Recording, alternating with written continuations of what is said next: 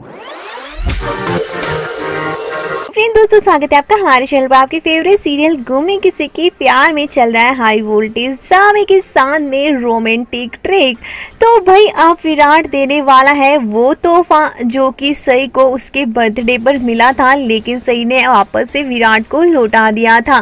दरअसल विराट अब अपने प्यार का इजहार करने वाला है। जी हाँ दोस्तों, सई की आवाज़ आते ही विराट उसे घर लेकर आएगा और फाइनली अपने दिल की बात कह देगा।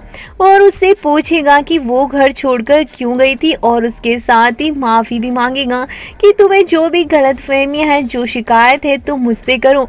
जितना लड़ना है, झगड़ना है, झगड़ो, लेकिन मुझसे दूर जाने की कभी बात मत करना। और उसे कहेगा, मुझे पता है कि तुम रिंग मेरे ड्रॉर में रख गई थी और वो रिंग उसे वापस पहनाता है एक सरप्राइज़ गिफ्ट के साथ और साथ में उसे रिंग पहनाते हुए कहता है कि उस दिन भी मैं अपनी बात पूरी नहीं कर पाया था और मैंने ठान लिया था कि मैं तुमसे हमेशा के लिए दूर ही रहूँगा, ना ही अपने दिल की बात कहूँगा। और जैसे एनिवर्सरी पे तुमने ये सब कुछ हुआ, तुम्हें गलतफहमी हुई, जो भी था, लेकिन अब मैं अपने दिल की बात कहना चाहता हूँ, उसे इस बार में, मैं चुप नहीं रहना चाहता।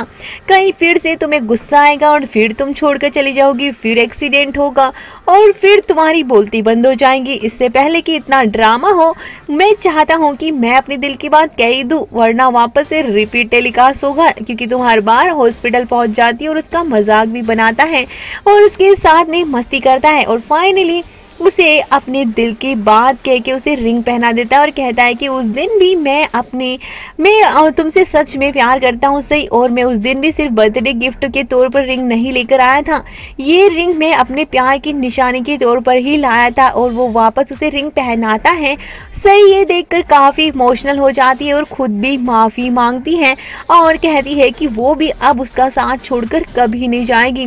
सही का वादा विराट को भी रुला देता है और फाइनली इन दोनों के बीच में सब कुछ ठीक हो जाता है।